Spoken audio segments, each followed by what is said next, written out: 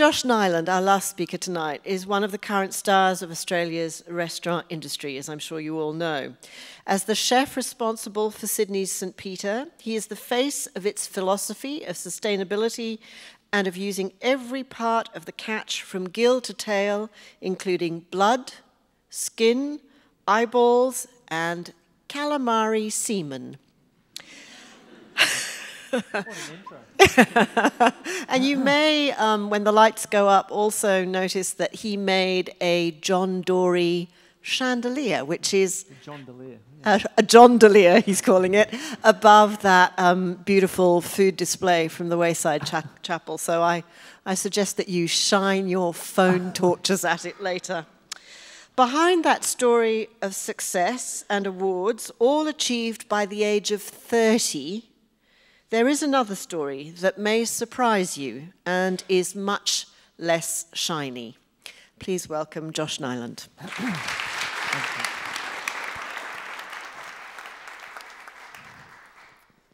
Uh, I too would like to acknowledge and pay respects to the traditional owners of this land. Resilience can be best described as the ability to cope when things go wrong. Things went very wrong two days after my eighth birthday when I was diagnosed with a Wilms tumour. The intensity of being met with the news of having cancer was overwhelming. I still remember the drive home with my mother stopping at the traffic lights and bringing herself to tears.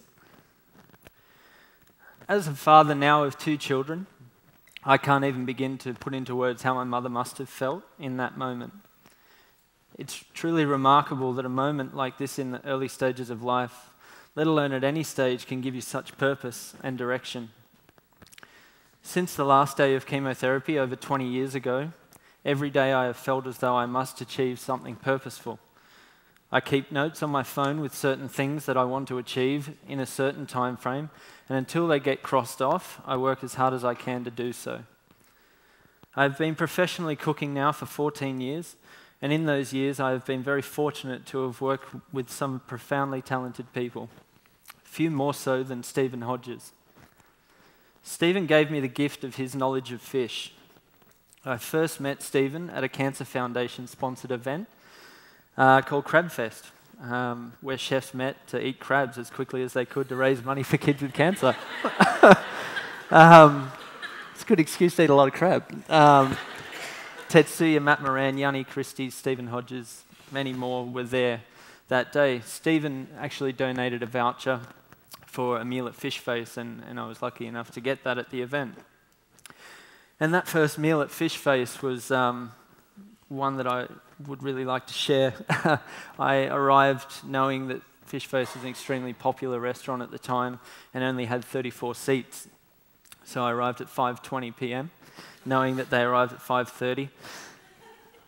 I walked up Darlinghurst Road, um, and there was a few chairs set up out the front, and there was a man sitting there with tracksuit pants on, a white T-shirt. There was a bottle of Coke on the table, box of Panadol, um, cigarette in the mouth, and a bowl of tomato pasta between his legs. And I ran up to him and I said, Steve, I'm coming to have dinner tonight. I'm really excited. and then he goes, What happened? You wet the fucking bed?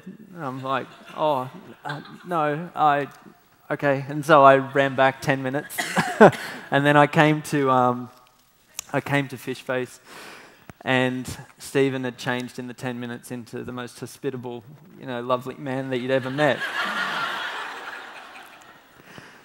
so I suppose from that moment of interacting with Steve was really the kind of the hook, I suppose, of why I, I wanted to pursue working there. So on my first day at Fishface, it was my trial.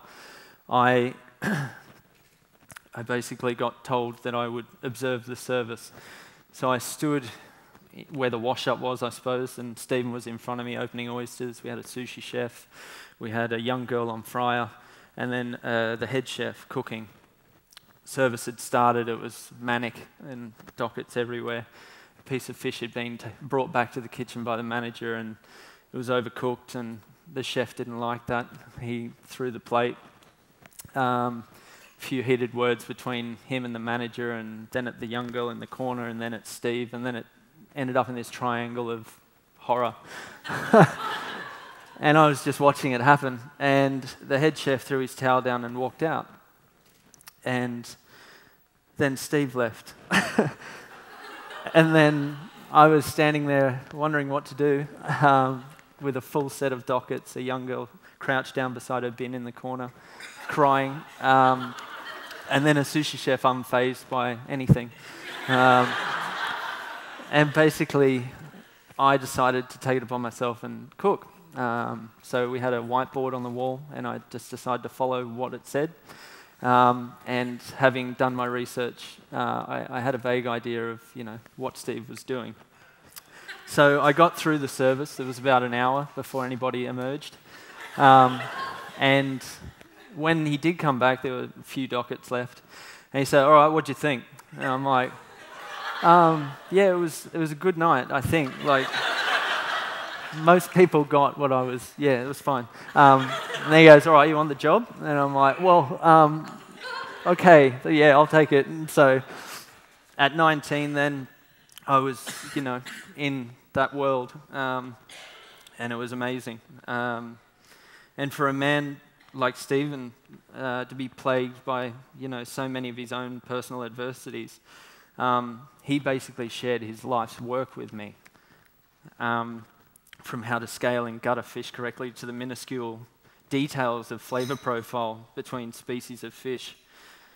Working at Fishface was extremely hard. Not just your typical physical services and and clean down's hard, but emotionally and mentally exhausting. I felt completely indebted to Stephen that he was investing so much effort and time in me that when I failed a task or it wasn't achieved to the standard that he or I wanted, the anxiety of that for weeks uh, I would carry until basically he'd bring me back, back to the pedestal that I was on to then carry on. And I suppose that wasn't an overly healthy pattern to be in, but that was my work and I loved what I did. At the same time, my wife, uh, Julie, and I, we just had our first child. And obviously, being a new family every day was extremely challenging. It had reached a point uh, with Fishface that I personally wasn't coping with how things were going. Um, so I decided to lift, uh, sorry, I decided to leave Fishface to spend time with my wife and son and wanted to slow down. Looking back on my time at Fishface, it's only now that I see the importance of the basic lessons that Stephen would tell me daily from cleanliness of the whole restaurant, inside and outside, to then cooking yourself a piece of fish every day as you would a customer so you can determine the travel time from the pass to the table, and then what the doneness is depending on the heat of the garnish on the plate. It was basically time for me to do my own thing, and it had to be fish. We opened St. Peter, and we had a manager in place, and basically we lost that manager on the first service. We call it a mishire, but we, yeah, we, um, we had a few mishaps that evening. It was a, our soft opening. And so I didn't have the courage to do it, so Julie handled that. and um, the very next day, we were very fortunate that we had um, Wimmy Winkler join us at, at, at uh, St. Peter.